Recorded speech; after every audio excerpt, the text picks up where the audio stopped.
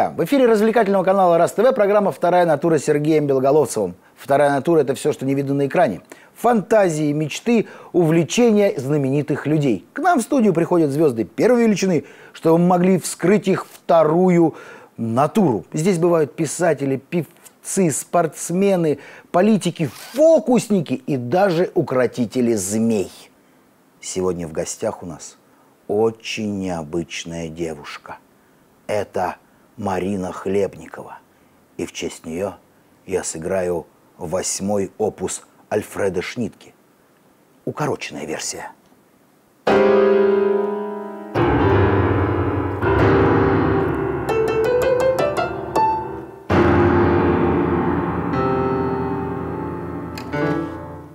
Ну, вот примерно как-то так. А теперь давайте начинать наш разговор. Марина Хлебникова родилась в подмосковном городе Долгопрудном в семье радиофизиков. Но отец играл на гитаре, а мать на пианино. В школе она была практически отличницей, любила физику и даже мечтала стать металлургом. В свободное время участвовала в школьных спектаклях в постановках Мольера, Гоголя, Пушкина.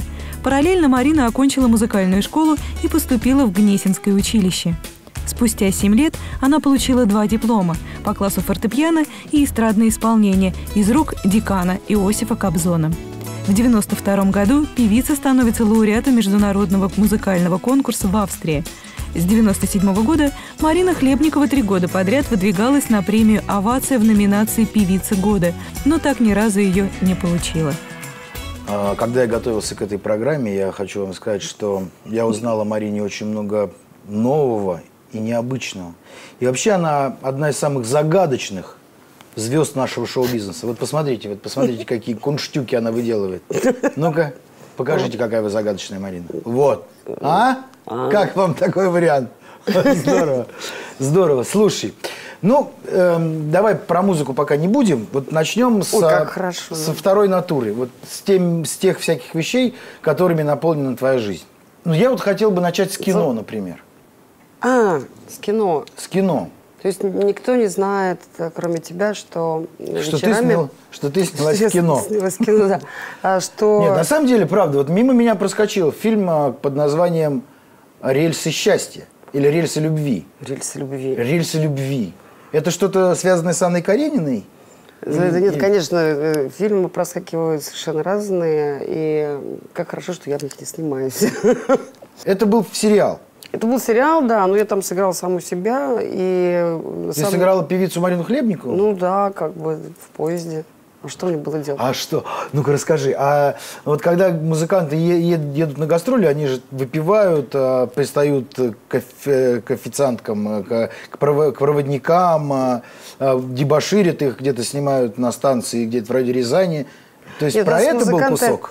Нет, ну, кусок был такой очень э, загадочный и забавный. То есть э, я должна была подыграть э, ревизору, и там была очень такая большая интрига. А я встретила свою э, очень добрую приятельницу э, Таню Пушкину. Она говорит, Маринка, а ты вот... Э, у тебя есть песня такая, проводница. Я говорю, да. А песня, знаешь, какая была? Вот э, не хотела песни, ну, бог с ним. 1 января, можете себе такое представить, что для артиста 1 января? Да, 1 января. 1 января я день. выезжала из Тольятти, был мороз страшнейший, ну, около 30 градусов.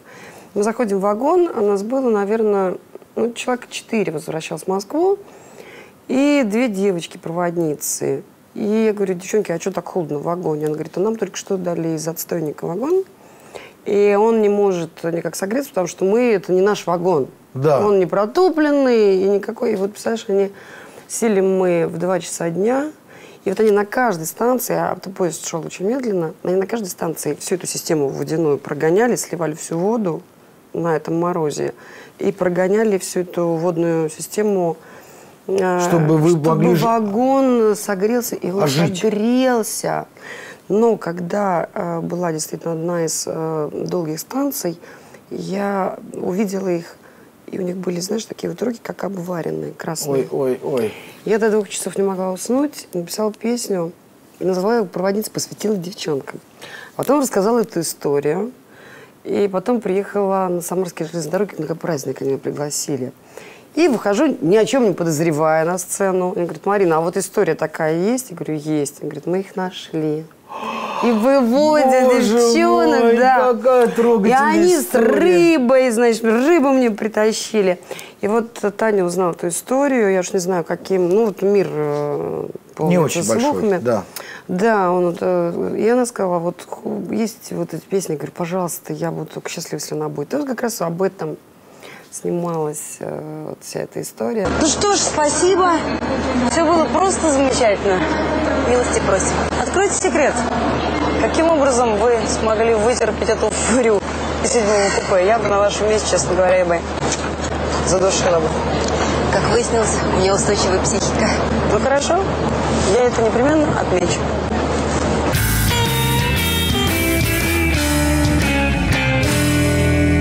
Какое себя. кино ты любишь? Вот что? я люблю что? очень Ты, ты любишь я люблю фэнтези, я люблю фантастику, я люблю умную фантастику, если она совмещена с драмой, с боевиком. Я очень люблю фильмы по Стивену Кингу, это один из самых любимых моих писателей. Да ты что? Да. То есть ты такая инфернальная девушка, да? Ну почему? Я, вот, я как-то комедии, я их не все люблю, потому что очень мало искрометных комедий. То есть ты вот любишь что-то такое таинственное, да? то есть Мистическое, мистическое. да, Я в тебе не ошибся. С Я в агенты, тебе чтобы были такие агенты, люди с паранормальными способностями. Такие, вау. Слушай, мне кажется, вот в тебе что-то тоже есть такое демоническое. Ну, в хорошем смысле слова, естественно. спасибо, что так хотя бы так, знаете. Вот мне кажется, не зря вот у тебя есть некие увлечения, о которых я знаю и сейчас буду рассказывать дальше нашим зрителям, которые, мне кажется, вот абсолютно отвечают тому, что ты сейчас сказала. Вот, например, давай вот... Варить приворотное зелье, Да, га- гадать на да, картах. слушай, там, мне кажется, вот ты- Ставить зеркало в сочельник, Мне кажется, приезжать очень хорошо бы сыграла какую-нибудь роль такой э, предсказательницей. предсказательницы. С И шаром. даже еще хуже того, ведьмы. Я тебе знаешь, что я хочу сказать? Что Мартиши Адамс это была написана роль для меня. Это правда. Это правда. Ну так, смешно, но. Да, ну, когда-нибудь я тебе обещаю, что я буду, когда продюсировать какой-нибудь фильм, по- похожий на «Семейку Адамс», тебя я обязательно позову тебя. Ой, я буду очень тебе Да. А еще я люблю смотреть хорошее кино, потому что после него я плачу. У меня есть песня об этом, я очень хотела бы ее сегодня спеть. С удовольствием мы послушаем. Хорошо. Давайте. О, хорошо. Да, мне нравится все.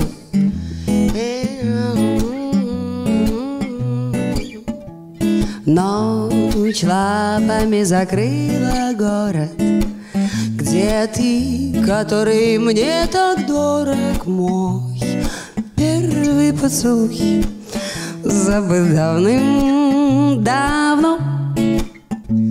Я не понимаю, почему я плачу от хорошего кино. Я не понимаю, почему я плачу от хорошего кино.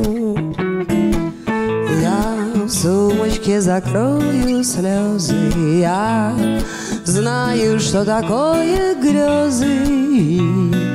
Если я устану, говорю тебе. Я не романтична и вполне практична в серой пустой толпе. Но не понимаю, почему скучаю в маленьком пустом кафе.